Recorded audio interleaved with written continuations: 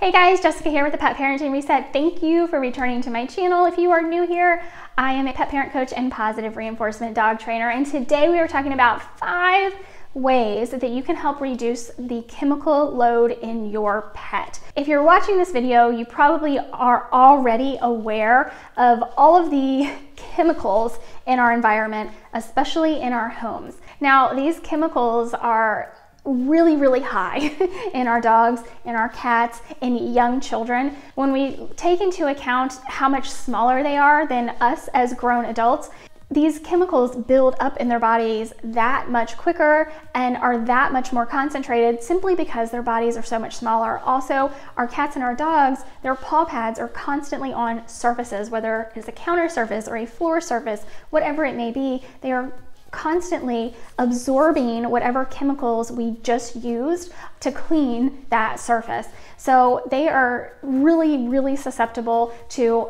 overwhelming chemical load. And certainly there have been studies done to prove that chemical load in some dogs and cats, uh, they were studied specifically in New York State where dogs and cats are confined indoors a lot more because in New York City, I, I, should say, in New York City, um, there's not a whole lot of green, right? So they stay indoors. They're on concrete, they're on pavement, they are um, on surfaces that are regularly cleaned very, very often, and their chemical load far exceeds maximum um, known to be okay, which to me is still still too much in the body. So there, I will link in the description below. I have done videos in the past showing you how to make your own cleaners that are chemical free. Um, personally, that is what I use, but we know that these chemical loads in the body for our dogs and our cats, they are endocrine disruptors, right? So we are seeing a lot of uh, negative impacts on the endocrine system. Cats, uh, we know, are being diagnosed at insane rates with hyperthyroidism.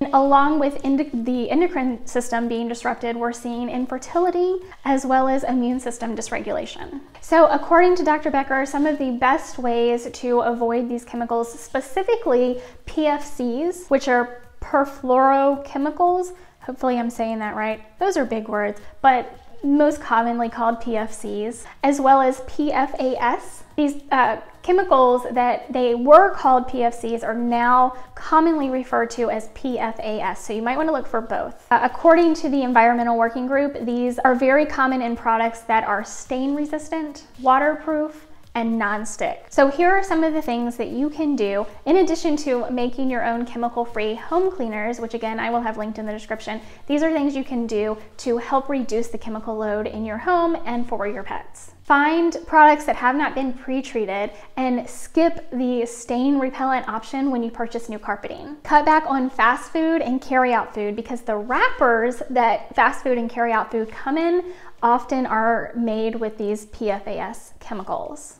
When you are purchasing clothes, you want to make sure they don't state that they are Gore-Tex, G-O-R-E-T-E-X, or Teflon. And you also want to be wary of fabrics that are stain repellent or water repellent. Avoid nonstick pans and other kitchen utensils. Instead, use stainless steel and cast iron. When you pop popcorn, make sure you are doing it the old fashioned way because when you buy bagged popcorn, the inside of that bag is often lined with PFAS chemicals. Provide chlorella to your pets to help flush out any toxins that are in their body. Make sure you are filtering both your and your pet's drinking water. Keep your pet away from any outdoor areas that may have pesticide, herbicide, or even fertilizers. If you do walk through an area and you just are not sure if they have been maybe a common area where you live and you're not sure if it's been treated with any pesticides or herbicides or if there's any fertilizer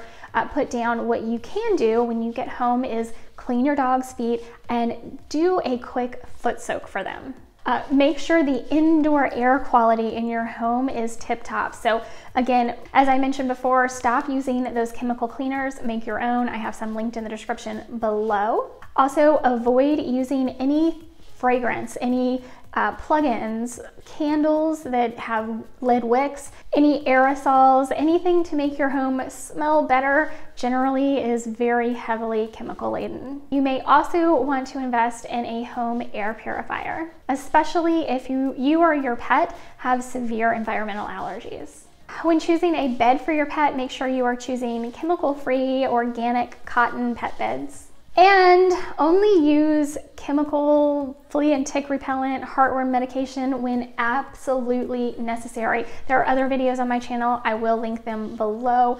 Uh, also on my podcast, I'm going to be doing an episode about that. So make sure you are subscribed to the podcast. You're following wherever you get your podcast. It is the Pet Parenting Reset. Search for it. And you can also go to the petparentingreset.com and listen there if you prefer not to use a streaming service. So these are some of the things you can do to reduce the chemical load for both you and your pets and some some a very small fraction of information as to why it is so important. Thank you so much for being here today. I appreciate you watching. I know you are a wonderful pet parent just because you're seeking out this information. If you're not already subscribed, make sure you are subscribed to the channel. If you're not watching this on Rumble, I hope you take a moment. I will link my Rumble channel in the description below. That is my preferred place for you to watch all the videos that I put up.